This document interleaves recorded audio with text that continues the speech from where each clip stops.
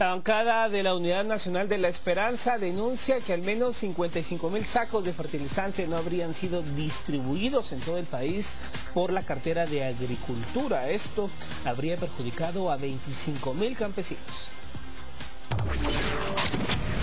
Diputados de la Unidad Nacional de la Esperanza citarán para este lunes al ministro de Agricultura Efraín Medina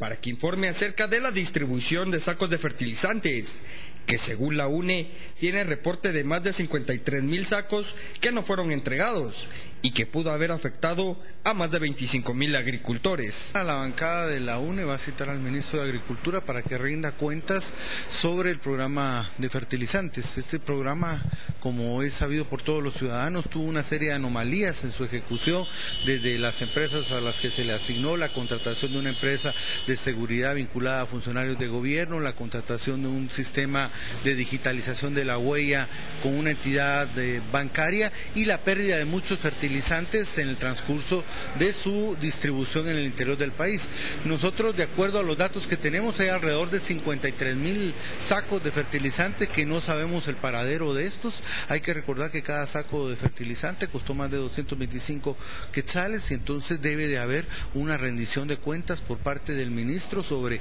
qué es lo que sucedió. No nos eh, casan los datos que entrega el ministerio, que entrega el Fondo eh, de Desarrollo del FONADES, ni tampoco eh, los datos que entrega la institución bancaria que hizo el tema de la digitalización y el cobro de los eh, fertilizantes. En ese marco creemos nosotros de que seguramente van a haber denuncias eh, penales que vamos a tener que